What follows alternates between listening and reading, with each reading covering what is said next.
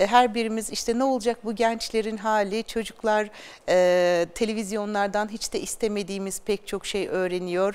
Herkesin elinde bir tablet, önünde bir e, telefon, e, kontrolü çok zor e, gibi e, yakınmaları çok sıklıkla duyuyoruz.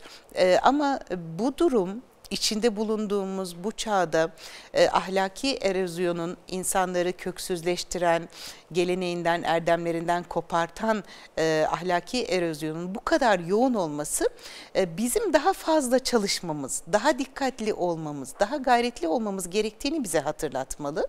E, sonuçta ahir zaman Müslümanlarıyız biz ve dünya her seferinde bir adım daha e, ahirete yaklaşıyor, kıyamete yaklaşıyor ve Peygamber Efendimizin pek çok hadis-i şerifinde ahir zamanda e, kötülüklerin ve ahlaki bozulmaların artacağına dair uyarılar var.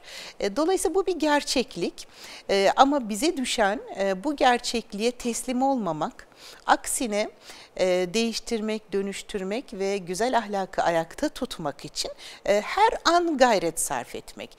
Uyanık olmak, tetikte olmak, çocuklarımızın, gençlerimizin ve kendimizin, sadece çocuklarımızın değil yetişkinler olarak bizim de güzel ahlakı yaşamamıza engel olan ya da bizi kötü ahlaki davranışlara sürükleyen şeylere karşı dur demek. Bu farkındalık dediğimiz, bilinç dediğimiz durum çok önemli.